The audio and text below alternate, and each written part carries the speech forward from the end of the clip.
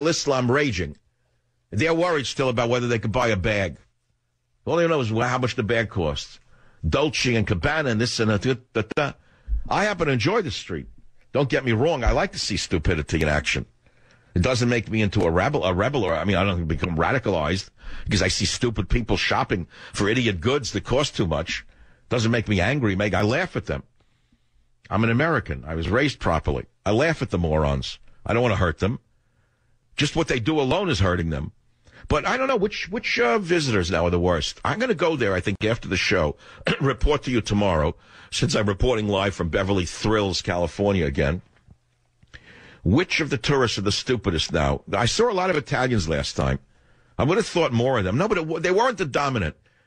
You had a lot of Chinese for a while. They were in here. They liked the. Uh, I was in a Lamborghini showroom the other day. Idiot car, moron car. Ten year old boys like it. Ten year old boys and basketball stars like the Lamborghini. A moron car. I don't know what anyone would want it for. Looks like a clown car that costs $500,000. What's the point of that? Oh, you need the car. Okay, you need the Lamborghini. You need the Lamborghini to pull up to, to the uh, restaurant to look. Oh, look at that. Oh, look at him. Wow, look at that. Mm, that's really so. What a car. Oh, look at the car. Look at the car. Look at the car. Look at the car. Look at the car. I'm driving a white Jeep down here. Anonymous. I shouldn't have said that. Actually, it's not a white Jeep, but I'm driving something like that. What do you need to show off in a car for? If you have a career where you're great at it, what do you need to show off a, with a car for? If you're a moron, you need a fancy a, fancy car. I have them too. So I guess some days I'm moronic. I need a fancy car, but I'm I'm embarrassed in them now. They don't even ride any better. My my 08 Mercedes S600 is still my best car. I, I don't want to sell it. I don't want to trade it for a new one. The metal, the gauge of metal is lighter on it. I think they cut back. Stuttgart Stuttgart cut back on the grade of aluminum that they're using. It's too much carbon fiber. The cars are light. My car feels like a tank. Just had it buffed. I'm like one of those guys are getting an old guy in an old Mercedes. It's almost a stereotype. Not good. You saw a lot of them in Hollywood years ago. That was not good. It meant that they were down on their luck. That's the problem. They were like directors who were big in the 80s, 90s, right? Then they haven't gotten any big parts. They're still living on like residuals and they still have the old house in Beverly Hills that's never been renovated. It's very dark. They never put a light on. I mean, really, I know this scene so well. You could see the houses are dark even at Christmas. Not a Hanukkah candle, nothing. They can't put a bulb on. They bought it in like 1979. They paid 300 grand for it. So let's say it's worth allegedly $6 million today. No lights are on. It's depressing, mildy, smells, smells moldy. And then they drive like an older luxury car which doesn't have so much as a nick in it, right? But you're supposed to think that they are driving the older car because they really like it, because it's better than the new ones, but they really can't afford the new one. If they could, they'd buy a new Bentley. That this is the thing is you have to uh, look through these things, and that's the conundrum I'm in. I drive the older car because I really like it, but people probably think I can't afford a new one. This is my problem. This is the problem when you know a lot of things and you can analyze properly. Very hard to figure out what to do. So what you do is you get handlers. They tell you what to do. All right, a little bit more on the makeup. Yeah, yeah. Pick up the neck. Yeah, do the hair that way. I'm just letting my hair grow. I look like Einstein now. I'm going full Einstein with the with the uh, the postcard Einstein. My family's terrified of the long hair. They hadn't seen me a month. They don't know what happened to me. I'm starting to look like a guy with the black fingernails. What's his name? Who lived in the top of the of the uh, Hilton Hotel in Las Vegas? The guy with the Spruce Goose airplane. You know I'm talking about. They found him and killed. I don't remember his name, but he also with the hair and the nails. You got to be very careful. I'm reluctant to cut it off. I like it. I don't like it.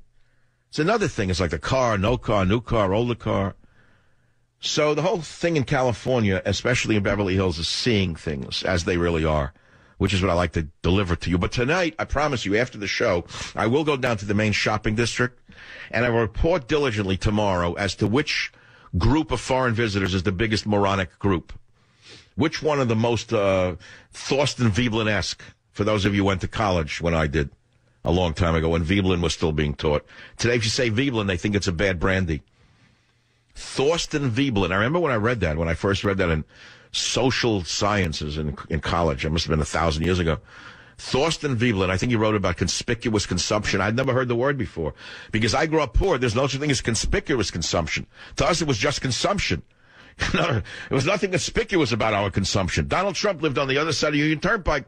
They had conspicuous consumption because his father was a wealthy landlord, uh, builder. They could have conspicuous consumption. A limo and a driver. I couldn't. I, my conspicuous consumption was wearing galoshes on the Q44A. If I could afford galoshes, I'd walk through the slush. If it got so deep sometimes in those, they'd go over your boot and you come in with a wet foot. I'm, I'm now I'm pulling your leg a little bit. I'm having fun. It's all true, but you know it's fun. You know, I love guys are getting a kick out of this. They got nothing to do. They're bored out of their minds. A lot of guys are listening in New York. They, they're retired. They know what's going on. They need a little comic relief. They think it's all a joke. It is not. Back in a minute.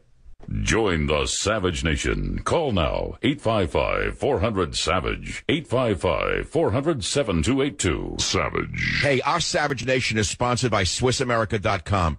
The only company I trust for wealth insurance, gold and silver. Call 800 B U I C O I.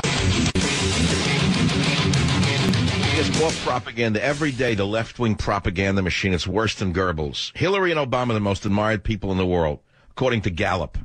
Tell me the last time Gallup's poll was accurate. Gallup is an extension of the Democrat Party. It's owned by the Democrat Party, lock, stock, and barrel. Hillary Clinton and President Barack Obama have been named the most admired woman and man worldwide by Americans in a Gallup poll Monday, where Donald Trump and Pope Francis tied for second. You actually believe this? Do you actually believe a word that the Gallup poll produces? The Gallup poll. When were they last reliable? When Edward R. Murrow was alive? Gallup poll. The Clintons own everything. The entire propaganda enterprise. Yeah, you talk about uh, Star Wars. This is the Starship propag- the Starship propaganda here. So I'm telling you about the war. We're losing the war. I'm telling you Obama's not playing the war right, or he's playing for the other side. We know this. Everyone who has a brain knows it. We tell you that all the generals and the brave people inside the military command structures know what's going on, and none of them have the courage to speak out while they're still active duty. Then suddenly, when they have the full pension, they're on MSN. They're already a uh, they're on MSNBC or uh, Fox News as a contributor, and then suddenly they're speaking out. So the calls haven't come. I have tones. I haven't taken a call. And now, America's most exciting radio talk show, The Savage Nation. Talk radio for the thinking person, home of borders, language, culture. And here he is, Michael Savage.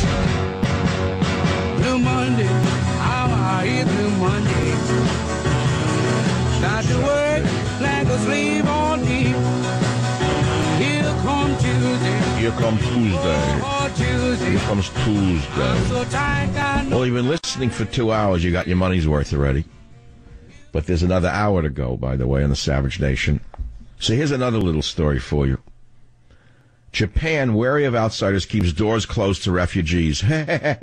I guess no one calls Japan a racist nation, huh? Well, you crybaby liberals. How come you have nothing to say about Japan? They don't want to let in Muslims? They let in 11 last year. Of the 7,533 people applied for refugee status in 2014 into Japan, only 11 were approved. I guess the Japanese um, like Japan for the Japanese. I guess they like their traditions, their culture. I guess the Japanese like the language of Japan. they like borders, language, and culture. How come you liberals aren't screaming the Japanese are all uh, racists? Because they're not. They're called survivalists. You, I can't do it. Certain things I cannot do on radio. Japan, wary of outsiders, keeps doors closed to refugees.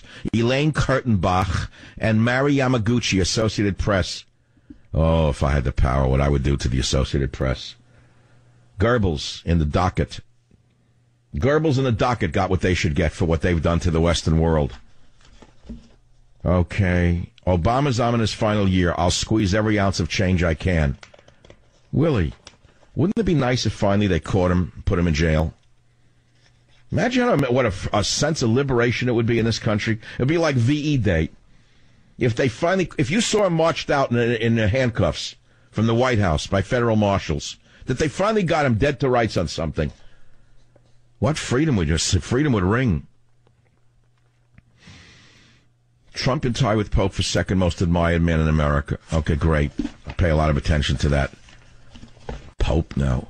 What they lump him in with the Pope for? the Marxist commie Pope they put him in with. Unhinged U.S. media desperate to stop surging Trump, says Pravda.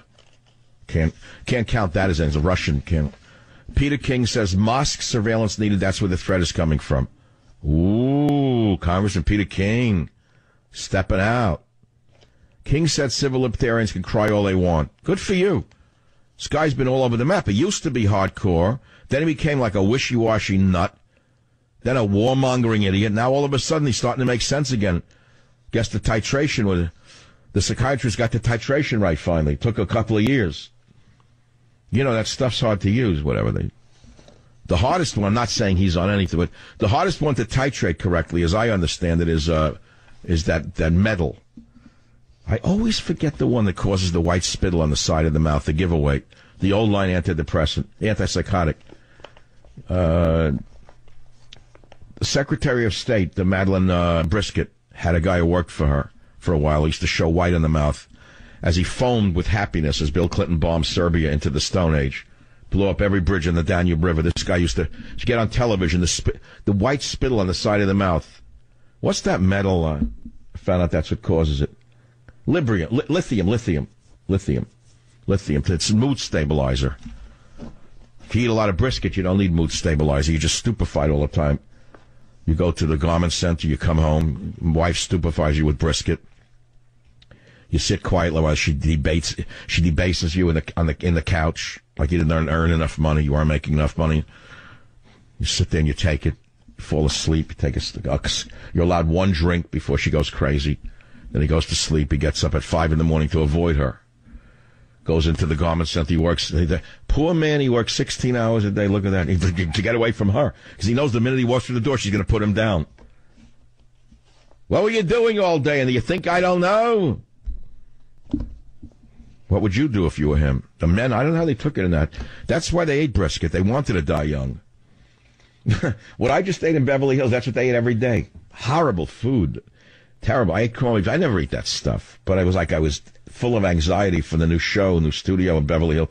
So I sent the maid out for like, just go to the deli, get me a corned beef. What do you want? Get me a Greek salad and a corned beef sandwich. That's all.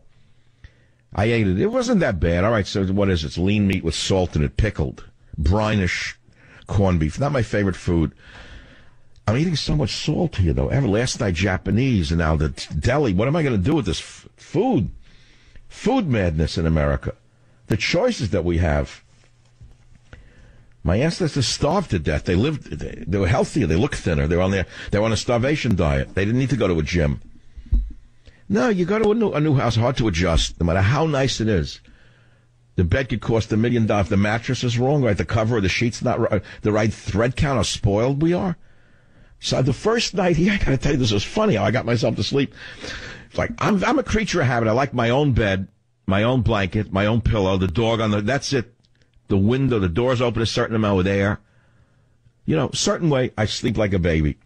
So now I'm in a new house and everything's wrong. The mattress is still outgassing nine months later. I don't know where they made it. The guy should be ex- executed who made this mattress somewhere in China. I don't know what it is. They outgassed for like years. When he was like toxic fill. The mattress must have cost as much as a Chevrolet did in my day. Still outgassing. I told I complained about it six months ago. Still outgassing. It smells like rubber coming out of the out of the mattress. You think people get cancer from all this stuff? These chemicals around us. You think I'm nuts? I'm going to study this for years. That was number one, the outgassing job. I said, all right, stop it. Number two, the sheet and the blanket didn't this. The, so finally, late, I said to myself, Michael, come on, cut the garbage. You're strong as, as, as iron. Cut it out. I said, I want you to think about two things. Think about a special forces operative right now, somewhere in a swamp or in Syria somewhere, freezing his butt off on a mountaintop so he can kill an enemy. That's number one. He's sleeping on a rock. If that doesn't work for you, think of your own ancestors who slept on clay ovens in Russia because there was no heat. I fell asleep like a baby, woke up at dawn. You see, you have to talk yourself off certain things to put things in context.